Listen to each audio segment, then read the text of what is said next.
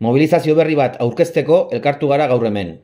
Ekainaren emezortzian, arratsaldeko seietan iruñean, eginen dugun etxera bidea agertu manifestazioak, Euskal Presoei oraindik ezartzen zaien salbuespen neurrien salaketa egin eta elkarbizitza eta bakearen alde bat egiten duten herritarrak bildu nahi ditu.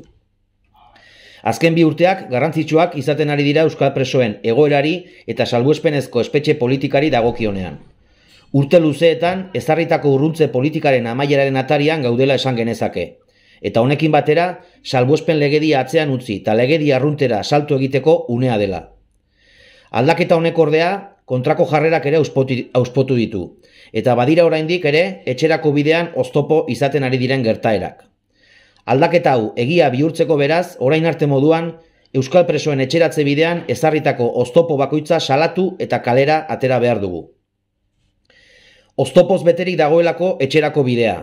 Euskal presoei ezartzen zaien salbuespenezko espetxe politikak, hau da, urrunketak, zigorren luzapena edota ia bizi osoko zigor luzeen ezarpenek eta hirugarren gradura igarotzeko edota baimenak lortzeko oztopoek, herri honetan elkarbizitzaren eta bakearen alde ematen ari diren aurrera urratsak oztopatzeko asmo garbia dute.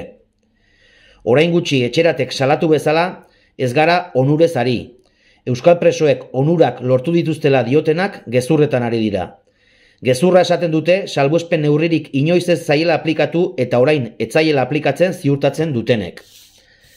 Espetxeetako legeak eta araudiak jasotzen dituen eskubidez ari gara. Modu interesatuan eta mendekuz Euskal presoei ukatzen zaizkien eskubidez.